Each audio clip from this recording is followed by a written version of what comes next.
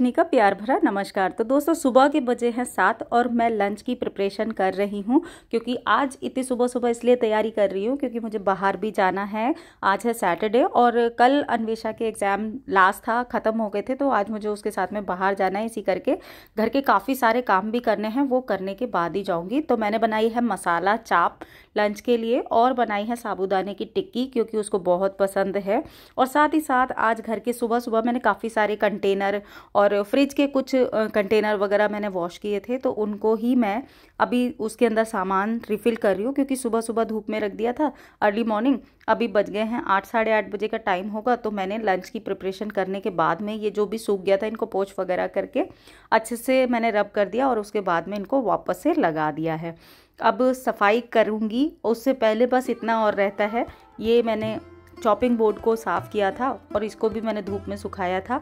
ये सूख गया है तो इसको भी ऑयलिंग करके एक तरफ़ रख दूँगी और उसके बाद में करूँगी मैं सफ़ाई घर की। अब ये मेरे सारा ब्रेकफास्ट वगैरह का काम निपट गया है। तो अब मुझे बस म्यूज़िक लगा दिया है और बहुत प्यारे प्यारे से मैं गाने सुन रही हूँ। सुबह सुबह में हाँ एक बहुत ही बढ़िया सी चीज़ बनाई थी, खांडवी।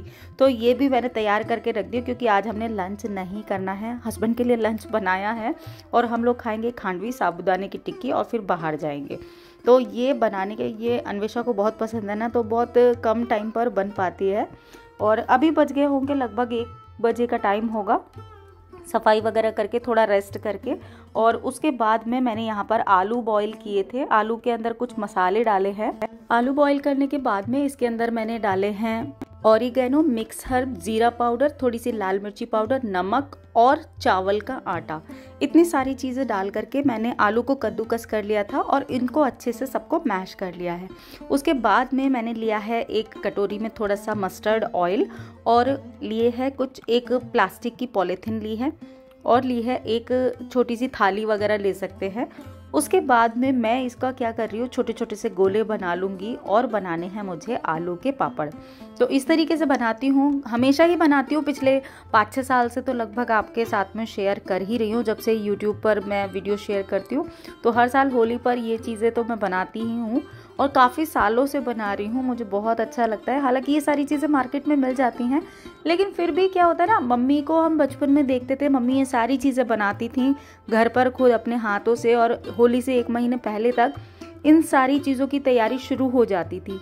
तो वही चीज़ें हम अपने बच्चों को आगे मतलब उनकी मेमोरी में भी रहे, इस करके मैं चाहे थोड़ा ही बनाऊँ, लेकिन बनाती ज़रूर हूँ। एक शगन भी हो जाता है। दूसरी चीज़ ये कि बच्चे जब इस तरह की एक्टिविटी घर में देखते हैं ना, उनको अच्छा फील होता है। वो भी ये चीज़ सीखते हैं। भले ही करे ना करे, आने वाला टाइम कैसा रहेगा यू नेवर नो लेकिन फिर भी कि अगर हम किसी चीज़ को, जैसे हमारे पेरेंट्स ने तो हंड्रेड परसेंट किसी चीज़ को फॉलो किया। हम एट्टी परसेंट फॉलो कर रहे हैं तो फिफ्टी परसेंट तो हमारे बच्चे भी करेंगे ही।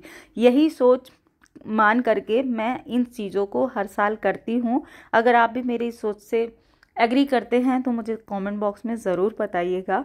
और हाँ काफ़ी टाइम हो गया, आप सबके रिप्लाई नहीं कर पा रही हूँ, सोच रही हूँ एक दिन आप सबके सामने ही आपके कमेंट का रिप्लाई करूँगी। तो बातों बातों में मैंने ये बना लिए थोड़े से पापड़, और थोड़े से मेरे पास एक किलो के करीबन आलू भी पड़े थे। मैंने सोचा था नए लेकर के आऊँगी तो उसके भी मैंने बाद में चिप्स बना दिए थे। और उसके बाद में हम आ गए हैं मार्केट। ये क्या दिखा रही हूँ मैं आपको? ये दिखा रही हूँ मैं पॉटपुरी। आप में से एक फ्रेंड ने मुझे बोला था कि पॉटपुरी का लिंक दे दीजिए तो मैं यहाँ लोकल मार्केट से लेती हूँ यहाँ पर पचास पचास रुपए के मज़ा रहा है। पॉटपुरी के। और यही अगर आप ऑनलाइन देखेंगे तो दो सौ ढाई सौ साढ़े तीन सौ पाँच सौ इस रेंज के हैं। और बाहर जाएँ और गोलगप्पे ना खाएँ ऐसा कैसे हो सकता है? मैंने यहाँ पे एक आटा चक्की देखी तो मैंने थोड़ा सा शूट किया।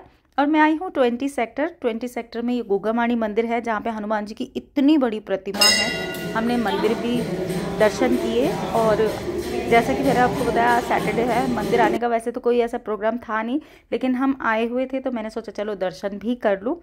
तो यहाँ दो तीन मंदिर है।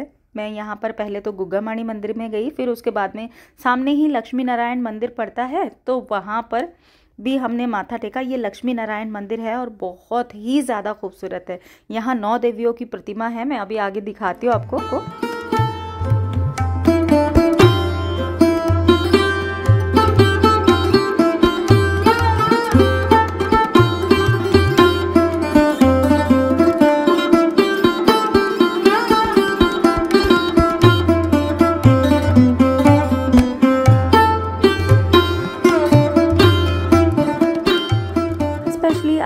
मार्केट से डीआईवाई के लिए कुछ सामान लेने के लिए तो वो सामान मैंने ले लिया है और अभी घर जा करके आपको सारा सामान दिखाऊँगी क्या लिया है। आगे हैं और काफ़ी लेट हो गया है बिल्कुल रात हो गई है। आने के बाद में बस जस्ट अभी बैठी हूँ आप सबको सामान दिखाने के लिए। वैसा कुछ खास सामान नहीं लिया है जो यूजुअली घर के सामान यूज़ होते ना वही लिया है मैंने। सोचा चलो आपको दिखाई देती हूँ। आज सुबह से ना मेरी आँख ये वाली बहुत ज़्यादा रेड थी। इतना दर्द था, इतनी पेनफुल मेरे लिए रहा है आज का सुबह से लेकर के अब तक का दिन। अभी थोड़ा सा ठीक है। मतलब उन्नीस बीस का ही फ़र्क है, ज़्यादा नहीं।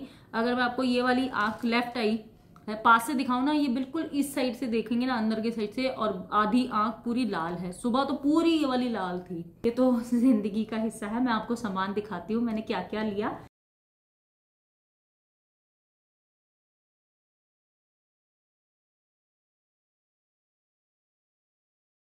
एक बहुत ही इंटरेस्टिंग सी चीज़ दिखाती हूँ। और ट्वेंटी सेक्टर में ना काफ़ी सारी चीज़ें बहुत सस्ती मिलती हैं। तो अगर आप ट्राई सिटी में हैं और चंडीगढ़ आते हैं तो आप ट्वेंटी सेक्टर से ये चीज़ें ट्राई कर सकते हैं।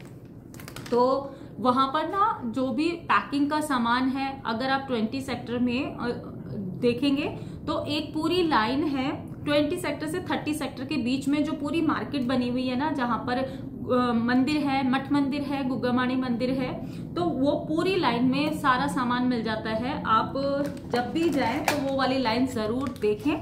मैं ये रंगोली के कलर लेकर के आई हूँ। फ़िलहाल तो एक ही लिया है पैकेट, लेकिन ये क्यों लिया मैंने, मैं आपको दिखाती हूँ। इसमें मिले हैं ये स्टेंसिल बहुत ही बढ़िया। एक तो ये श्री और एक ये लक्ष्मी जी के पैर। इस टाइप का। हाँ कलर इसमें बहुत कम है, लेकिन कलर की डिब्बी की भी एक खासियत है। इस तरीके से ना इसमें होल किए हुए हैं, जिसकी वजह से आप आराम से पोर कर सकते हो। तो मुझे इस टाइप की चाहिए थी।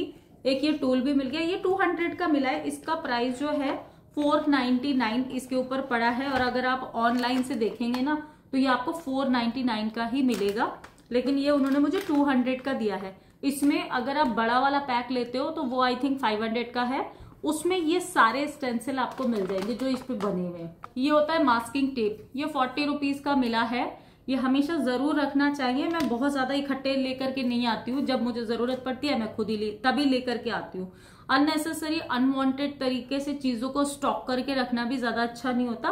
तो एक ये लिया है मैंने टूथपिक आई वाई के लिए मैंने आपको बहुत पहले शेयर किया था कि मुझे एक डी आई वाई करना है। उसके लिए मैंने त्रिशूल खरीदा था, है ना? और उसी डी आई वाई के लिए आज मुझे वो चीज़ मिल गई। देखे, ये ब्रास की बेल है तो ये मैंने ली है। ये प्लेन टॉप शीट है, बिल्कुल सिंगल इसको फैब्रिक बोल सकते हो आप। वैसे तो ये टॉप शीट है पिंक कलर की। मुझे एक बहुत ही अच्छा खूबसूरत सा बनाना है डाइनिंग टेबल का कवर, जो कि पेंट करके मैं बनाने वाली हूँ हैंड पेंटेड तो ये मुझे मिली टू फिफ्टी रुपीज़ की। वैसे सिक्स फिफ्टी का पूरा पेयर था, इनका दो का, लेकिन ये सिंगल केवल एक ही पीस पड़ा हुआ था तो उन्होंने मुझे बोला तो थ्री हंड्रेड का था, फिर मैंने उनसे थोड़ा सा रिक्वेस्ट किया। मैंने कहा, आपके पास सिंगल है आपके लिए तो किसी काम का नहीं है, मुझे दे दो, मेरा काम हो जाएगा। तो उन्होंने टू फिफ्टी का दे दिया है। ये भी मैंने ट्वेंटी सेक्टर से ही लिया है बाई द वे सारे ही सामान मैंने वहाँ से लिया है। ये लिए मैंने पूजा के फूल, वहाँ पर बहुत कॉस्टली है। मतलब फिफ्टी रुपीज़ में इतने से फूल देते हैं, वो भी फूल नहीं, पत्तियाँ। मिक्स हर्ब जो इटालियन सीजनिंग होती है, ये वो है। और बहुत अच्छी होती है। ये इतनी अगर हम पैकेट में उसमें लेते हैं ना, बॉटल वाली जो आती है तो वो काफ़ी महँगी मिलती है, वो अस्सी नब्बे सौ रुपए की मिलती है, लेकिन ये थर्टी रुपीज़ ईच है। दोस्तों के लिए लिया है मैंने सतनाजा पीजन्स के लिए, हालाँकि इसमें बाजरा ही है तो बाकी के अनाज जो है वो मैं घर पर ही मिला लूँगी, लेकिन बाजरा घर पर नहीं होता है तो मैंने ये ले लिया। सतनाजा करके बोला था, लेकिन उन्होंने इसमें बाकी चीज़ें तो बहुत नाम के लिए ही है। अच्छा मंदिर का सामान लेना था मुझे कुछ तो ये मैंने ली है धूप। धूप बत्ती ये है, काफ़ी सारी धूप बत्ती ली है। और पूजा की बत्ती ली है, ये ली है। और ठाकुर जी के इत्र लिए हैं। खाने के लिए लिया है ये चीज़। ये एक किलो का पैकेट आता है और वहाँ पर ना काफ़ी सारा सामान ऐसा मिल जाता है जो कि होलसेल रेट पर मिलता है। तो ट्वेंटी सेक्टर में जो मार्केट है ना, वहाँ से आप ले। ये आई थिंक एक केजी का है और ये फोर एट्टी का दिया मुझे कि एमआरपी से कम पर मिला है। मैंने पैक लिया है। तो ये छह नैपकिन का पैक जो है, वो मुझे केवल सिक्सटी रुपीज़ में दिया है उन्होंने। ये देखिए, ये सिक्सटी रुपीज़ में छह नैपकिन यानी कि दस रुपए का एक। और यही नैपकिन अगर हम रिटेल में लेते हैं तो ट्वेंटी फाइव थर्टी रुपीज़ का एक नैपकिन देते हैं। तो बस ये एक छोटी सी शॉपिंग थी जो मैंने आप सबके साथ में शेयर की। आज का वीडियो इतना ही था दोस्तों। उम्मीद करती हूँ आपने एंजॉय किया होगा। कुछ भी अच्छा लगा, कुछ भी आइडिया मिला तो लाइक ज़रूर कीजिएगा। चैनल पर नए हैं तो सब्सक्राइब कर लीजिए। इसी तरह के और भी वीडियो देखने के लिए। और मैं थक गई हूँ बहुत। मैं आपसे जल्दी मिलूँगी एक नए और इंटरेस्टिंग वीडियो में। Till then be happy be active अपना ख्याल रखिए और मस्त रहिए। Bye bye.